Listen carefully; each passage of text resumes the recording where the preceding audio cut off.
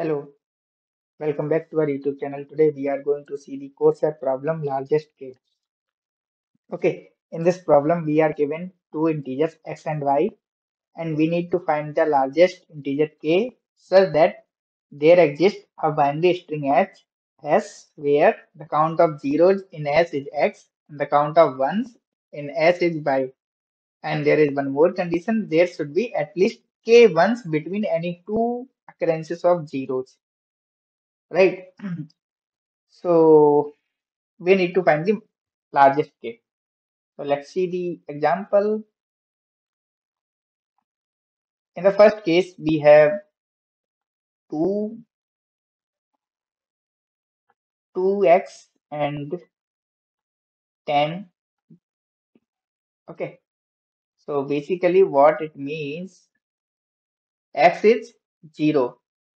So we can have 2, 0 and 10, 1. That is the case. You can say x, this is x, this is y. This is simple. Okay. So now what we can do? We can have two zeros, two zeros, right? We have put that. Now we have 10 ones. We need to have 10 ones. So what we can do? Like, we can have this, this, this, this. We can fill it. So basically, overall 10. These are not 10 maybe, but overall there will be 10. And we are satisfying all three conditions, right? So let's see the better case of this. So suppose if we have instead of this 2, we have 3. Let it be. We have 3 instead of this. Then what is possible? Right? So we'll have 0, 0 here, and 0 here. Now we need to have 10 this thing, 10. What can we fill 10 here only? If we fill 10 here, then there will be no ones here. So that is a problematic thing, right? That is not possible. Now, can you do 9? Then it will be 1. That is also not possible. Or 2 and 8. This is also bad thing. So what we can do? We can do, we can have 5. 3, 1, 2, 3, 4 and 5. 1, 2, 3, 4, 5. Now all conditions are satisfied with this. right? Sorry, right? So let's see one more better example, better complexity, we can say. Instead of 3, now we have 4. What is that possible? 0, 0, 0, 0. So in previous case, answer will be 5 in this case. So how many we can fill? We need to have at least k, right? We can go beyond that, but at least case would be there between these occurrences. So let's say if we fill here 1, 1, 1, right? Again 1, 1, 1. Okay. And then again 1, 1, 1. So we total have 9. Now 1 is remaining. So at least what we can have 3. Now we need to like, we have left 1. Where we can put? We can either put here, here or here. Not at all place, at any one place.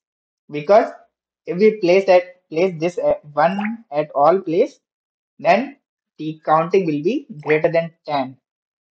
So that is not the right thing. That's why we will put it only the first place or the second or the third place. That is the way you can get your answer. So here your answer is possible 3. So let's go.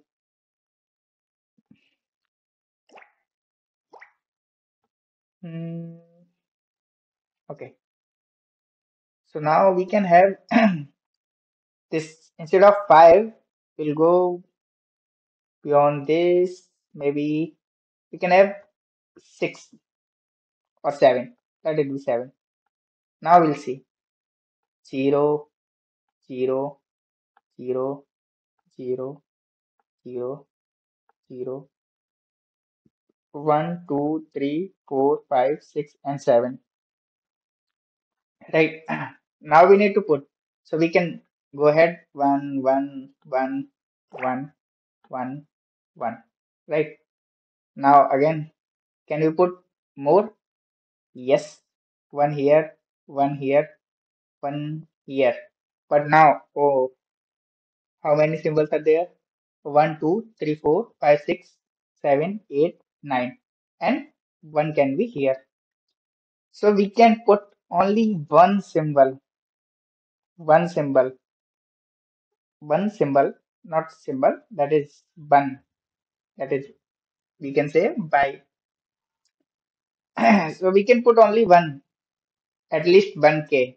That's it. It is not possible more than that. So can you imagine? Can you imagine this thing? Like at how many places we need to fill it? One, two, three, four, five, six. That means seven minus one. Six place seven minus one. And if it is five, then five minus one. So we you need to fill at x minus one place. And how many are possible total? By. And how can you achieve this solution? Just divide it. Division will give the floor value, right? Because it is an integer division. So integer division floor value, that means you get the at least thing, at least k. You will get the k here. So that is the possible solution. And let's jump to the code.